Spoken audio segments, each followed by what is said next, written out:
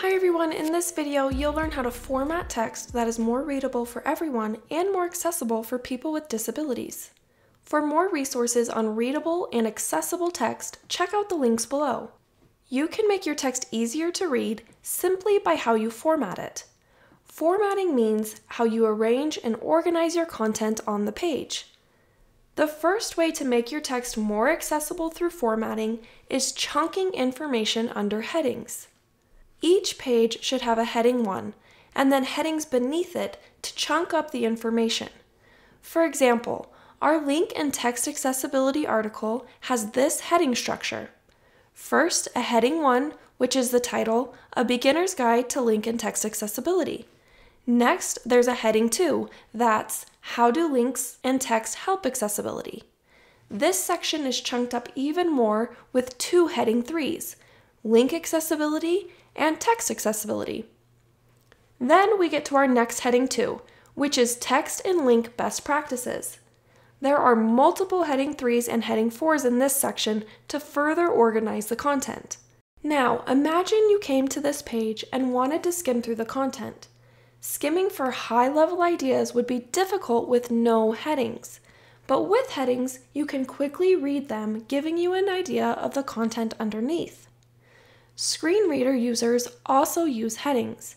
Some can pull up a heading list or navigate by just headings to make it easier to skim and get through the page. This means headings are critical for accessibility. To help make sure you have headings that make sense, follow these tips. Try outlining your ideas before writing the content. These could end up being your headings. Next, only include information related to the heading. If it's new information, consider another heading. Lastly, if the heading is a broad topic, consider subheadings underneath it to break it up. Typically, only go as far as a heading 4. The next tip for formatting is to left align text. Generally, left aligned text is easier to read. Here's center text. Each new paragraph has a different starting point, which makes it more difficult to read. Then, justified content adds inconsistent spacing between words, which also makes it harder to read. So, when in doubt, left align. On to the next tip consider line length. The line length is how long your lines of text go before breaking to the next line. Let's look at some examples to see why this matters. Take a look at this text. The line length goes to the edge of the page.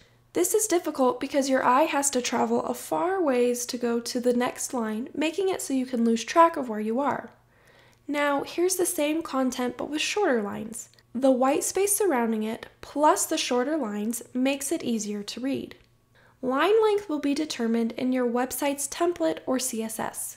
So if you think your content's line length is a problem, you might have to speak with whoever manages the code of your website. The next tip is something we just mentioned, which is format your text to include white space. One way to add white space or empty space on the page is by having a shorter line length like we mentioned earlier. Another way of adding white space is between paragraphs. Here's text with no paragraphs. There are no line breaks or white space. It's a wall of text. Here's the same text with paragraph breaks. The white space gives the reader a short mental break and visually organizes related content. Including white space with short lines and paragraphs helps all users consume your content, but especially users with reading disabilities. The last formatting tip is to use lists in your content.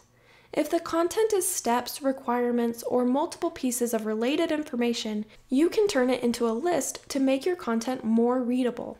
Let's compare these texts. The first is a paragraph of the content. The second has the content in a list.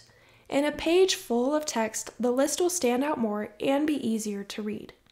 With these five tips, use headings to chunk content, left align text, consider line length, include white space with paragraphs, and use lists, you're ready to format your content to make it more readable and accessible.